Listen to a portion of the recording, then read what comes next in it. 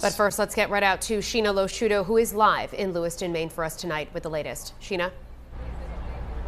Well, it was certainly a somber and quiet right up here to Maine. The road that's blocked off right behind me, you see, that leads to the bowling alley. We, of course, now know that that is one of two deadly scenes here in Lewiston. Now, this area and the surrounding area remains under a shelter in place. Businesses are closed, parking lots are empty. It's very quiet because as we're approaching 24 hours after this deadly shooting, that suspect remains at large. A manhunt for a suspected mass shooter continues. This is the man police are looking for 40 year old Robert Card. A warrant is out for his arrest. Card is accused of fatally shooting at least 18 people, injuring 13 in the city of Lewiston, Maine.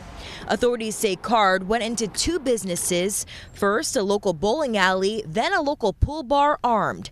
In a matter of minutes, sheer chaos, shattering Maine's second largest populated city. My administration is behind law enforcement's efforts to capture the person of interest, Robert Card, to hold whoever is responsible for this atrocity accountable under the full force of state and federal law and to seek full justice for the victims and their families. But why? The motive remains a mystery. As authorities emphasize, the focus remains on tracking down the suspect.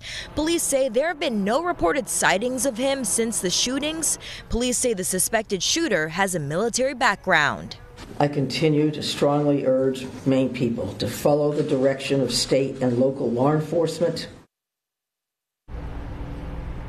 Now, police are holding several press conferences when they have updates here. At this point right now, police say they are still working to identify 10 of the victims. And so far, they have not said anything about any of the victims or their ages. At this point, this remains a very active investigation. And we, of course, will be here as it all develops. Reporting live in Lewiston, Maine tonight, I'm Sheena Losciuto, 12 News. And we continue our team coverage on the Maine shootings here locally. Chairman of the Armed Services Committee, Rhode Island Senator Jack Reed, tells us the suspect's military background could help him evade capture. 12 News reporter Adriana Rosas Rivera sat down with the senator and joins us live in studio. Adriana. Well, Mike Shannon, locally, Mass State Police canceled a be on the lookout alert they had issued this morning, but they continue searching for this suspect. Senator Jack Reed saying the suspect's military background might influence how long it takes to capture him.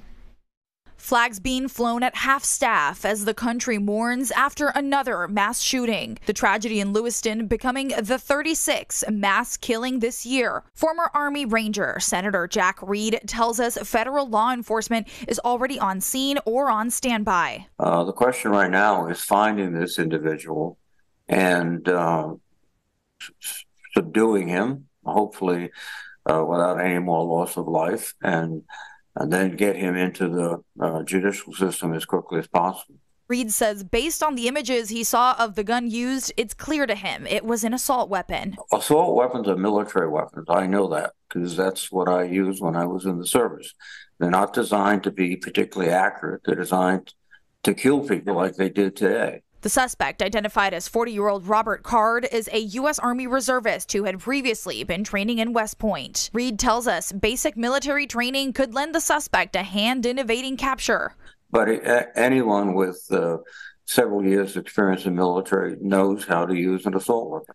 He has also, I presume, uh, skills of escape and evasion that he's developed in basic training. All these skills are taught.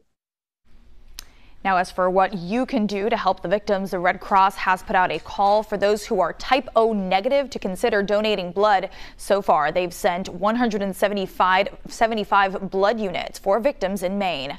Live in studio, I'm Adriana Rosas.